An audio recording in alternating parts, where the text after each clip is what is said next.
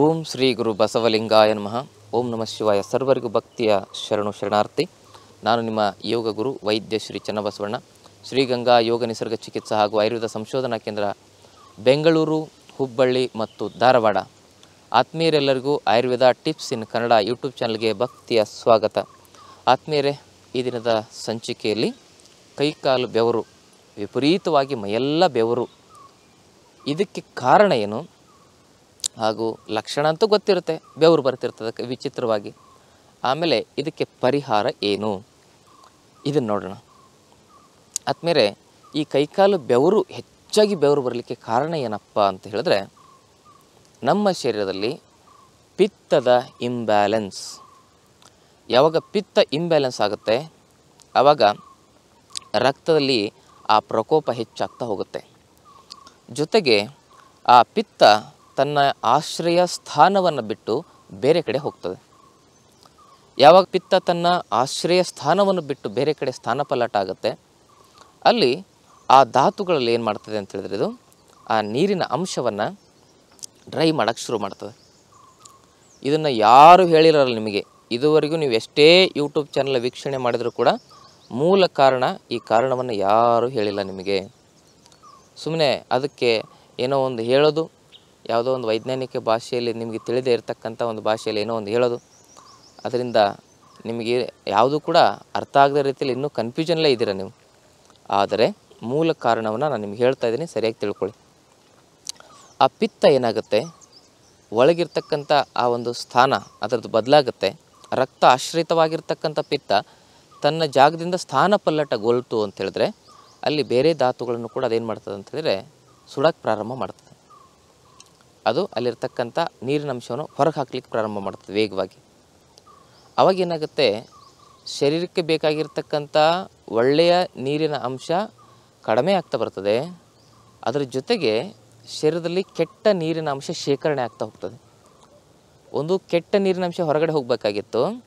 ಅದು ವಿಚಿತ್ರವಾಗಿ ಏನಾಗ್ತದೆ? ಪಿತ್ತ ಸ್ಥಾನಪಲ್ಲಟವಾಗುತ್ತೆ, ಅದ್ರ ಜೊತೆಗೆ ವಾತನೂ ಸ್ಥಾನಪಲ್ಲಟವಾಗಿಬಿಡ್ತದೆ ಒಂದ್ಸಲಿ. ಅದರಿಂದ ವಿಪರೀತವಾಗಿ ಏನಾಗುತ್ತೆ? ಬೇಕಾಗಿರೋ ಒಳ್ಳೆಯ ನೀರು ಹೊರಗೆ ಹೋಗುತ್ತೆ, ಬೇಡದಿರೋ ಕೆಟ್ಟ ನೀರು ಒಳಗಡೆ ಸ್ಟೋರ್ ಆಗಿ ಇನ್ನಷ್ಟು ಸಮಸ್ಯೆಗಳು ಆ ಬೆವರಿನಲ್ಲಿ ದುರ್ಗಂಧಗಳು ಸೃಷ್ಟಿಯಾಗ್ತವೆ. ಹಾಗಿದ್ದರೆ ಈ ಸಮಸ್ಯೆಗೆ ಪರಿಹಾರ ಏನು? ಮೊದಲನೇದು ಇದಕ್ಕೆ ರಕ್ತ ಪಿತ್ತ ಚಿಕಿತ್ಸೆಯನ್ನು ಕೊಡಬೇಕು. ವಾತ ರಕ್ತ ಚಿಕಿತ್ಸೆಯನ್ನು ಕೂಡ ಕೊಡಬೇಕು. ನಿಮ್ಮ ದೋಷಗಳನ್ನು ಪತ್ತೆ ಹಚ್ಚಬೇಕು. ನಾಡಿ ಪರೀಕ್ಷೆ ಮಾಡಬೇಕು. ನಾವು ನಾಡಿ ಪರೀಕ್ಷೆ ಮಾಡಿದ್ರೆ ನಿಮ್ಮ ಯಾವ ದೋಷ ಇಂಬ್ಯಾಲೆನ್ಸ್ ಆಗಿದೆ ಅಂತ ಕಂಡುಹಿಡಿತೇವೆ. ಆ ಥರ ನಿಮ್ಮ ಹತ್ತಿರದಲ್ಲೂ ಕೂಡ ಆಯುರ್ವೇದಿಕ್ ವೈದ್ಯರು ಇರ್ತಾರೆ, ಅವ್ರ ಹತ್ರ ತೋರಿಸ್ಕೊಳ್ಳಿ. ಅವರು ಕೂಡ ನಿಮ್ಮ ನಾಡಿ ಪರೀಕ್ಷೆ ಮಾಡ್ತಾರೆ, ನಿಮ್ಗೇನು ದೋಷ ಇಂಬ್ಯಾಲೆನ್ಸ್ ಆಗಿದೆ ನೋಡ್ತಾರೆ. ಆ ಪಿತ್ತದಲ್ಲಿ ಐದು ಪ್ರಕಾರದ ಪಿತ್ತಗಳಿದ್ದಾವೆ ಮತ್ತೆ. ವಾತದಲ್ಲಿ ಐದು ಪ್ರಕಾರದ ವಾತಗಳಿದ್ದಾವೆ ಅವುಗಳಲ್ಲಿ ಏನೇನು ವೇರಿಯೇಷನ್ ಆಗಿದೆ ನೋಡಿ, ಅದಕ್ಕೆ ಕ್ರಮಬದ್ಧವಾಗಿ ಸರಿಯಾಗಿರ್ತಕ್ಕಂಥ ಒಂದು ಔಷಧಿಯನ್ನು ಕೊಡ್ತಾರೆ. ಅದನ್ನು ಸರಿಪಡಿಸ್ಕೋಬೋದು. ಅದಕ್ಕಿಂತ ಮೊದಲು ಕೆಲವೊಂದಿಷ್ಟು ಮನೆಮದ್ದುಗಳನ್ನ ಹೇಳ್ತೇನೆ ನಿಮಗೆ.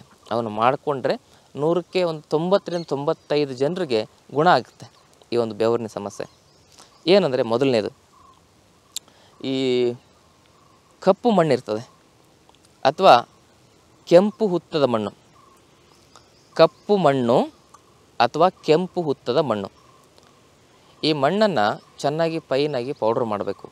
ಹರಳಿರಬಾರ್ದು, ಅದನ್ನು ಜರಡಿ ಹಿಡಬೇಕು.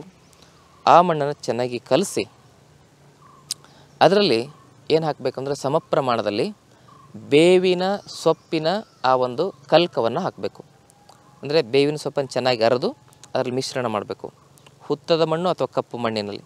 ಸಮ ಪ್ರಮಾಣ ಮಣ್ಣು ಎಷ್ಟು ಪ್ರಮಾಣ ಇರ್ತದೋ ಅಷ್ಟೇ ಪ್ರಮಾಣದಲ್ಲಿ ಈ ಒಂದು ಬೇವಿನ ಎಲೆಯ ಆ ಒಂದು ಕಲ್ಕ ಅಂದರೆ ಅದರ ಸ್ವರಸ, ಅದರ ಪೇಸ್ಟನ್ನು ಹಾಕಬೇಕು. ಹಾಕಿ ಎರಡನ್ನು ಚೆನ್ನಾಗಿ ಮಿಕ್ಸ್ ಮಾಡಿ ಮೈ ತುಂಬ ಎಲ್ಲ ಲೇಪ ಮಾಡಬೇಕು. ಬೆಳಗ್ಗೆ ಸರಿಯಾಗಿ ಆರು ಗಂಟೆಗೆ. ಆ ಕಾಲ ಪ್ರಮುಖವಾಗಿರ್ತಕ್ಕಂಥದ್ದು. ಯಾಕಂದರೆ ಬೆಳಗ್ಗೆ ವಾತ, ಮಧ್ಯಾಹ್ನ ಪಿತ್ತ, ರಾತ್ರಿ ಕಫ ಕಾಲ ಇರ್ತದೆ. ಅದನ್ನು ವಾತ ಕಾಲದಲ್ಲಿ ಮಾಡಬೇಕು.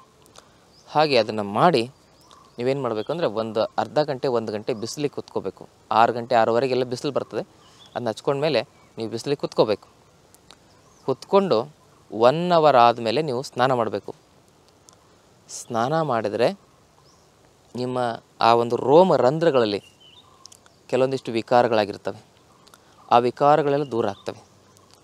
ಇದರಲ್ಲಿ ಮುಖ್ಯವಾಗಿರ್ತಕ್ಕಂಥ ಕಾರಣ ಪಿತ್ತದ ಇಂಬ್ಯಾಲೆನ್ಸು ಅದರ ಜೊತೆಗೆ ಇದಕ್ಕೆ ಮುಖ್ಯವಾಗಿರ್ತಕ್ಕಂಥ, ಪ್ರಧಾನವಾಗಿರ್ತಕ್ಕಂಥ ಮತ್ತೊಂದು ಕಾರಣ ನಮ್ಮ ರೋಮ ರಂಧ್ರಗಳು ಸ್ಕಿನ್ ಈ ಹೇರ್ ರೂಟ್ಸ್ಗಳಿಂದವಲ್ಲ ಅಲ್ಲಿ ಕೂಡ ಇಂಬ್ಯಾಲೆನ್ಸ್ ಇರ್ತದೆ.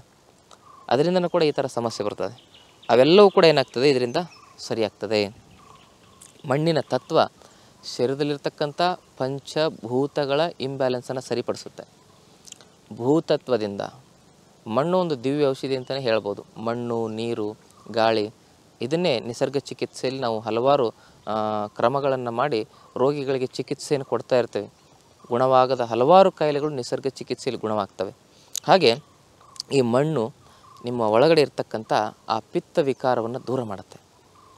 ನೀವು ಒಂದು ಸರಿ ನೋಡಿ ಬೇಕಾರೆ ನೀವೇನು ಮೈ ತುಂಬ ಅದೆಲ್ಲ ಹಚ್ಕೊಂಡಿರ್ತೀರಲ್ಲ, ಆ ಮಣ್ಣು ಅದನ್ನು ಒಂದು ಸರಿ ಕಲೆಕ್ಟ್ ಮಾಡಿ ಕಲೆಕ್ಟ್ ಮಾಡಿಬಿಟ್ಟು ಅದನ್ನು ಒಂದು ಕಡೆಗೆ ಹಾಕಿ, ಅದರಲ್ಲಿ ಬೀಜ ಹಾಕಿ ಮೊಳಕೆ ಹೊಡೆಯಲ್ಲ ಬೀಜ. ಅಷ್ಟು ಶರೀರದ ಒಳಗಡೆ ಇರ್ತಕ್ಕಂಥ ವಿಷವನ್ನು ತೆಗೆದಿರುತ್ತದೆ.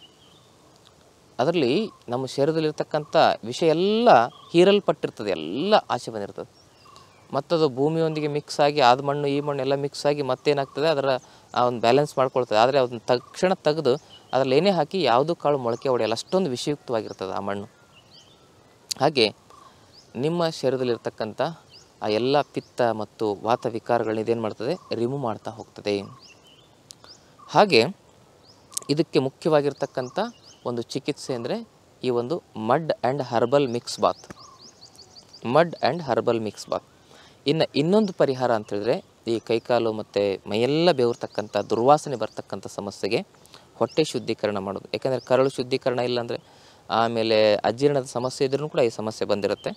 ಅದಕ್ಕೆ ಏನು ಮಾಡಬೇಕು? ಈ ಎಲ್ಲ ಸಮಸ್ಯೆಗೆ ಪರಿಹಾರ ಅಂತ ಹೇಳಿದ್ರೆ, ಬೆಳಗ್ಗೆ ತಕ್ಷಣ ನೀವು ಒಂದು ಜ್ಯೂಸನ್ನು ಕುಡಿಬೇಕು. ರಾತ್ರಿ ಒಂದು ಕಷಾಯವನ್ನು ಕುಡಿಬೇಕು.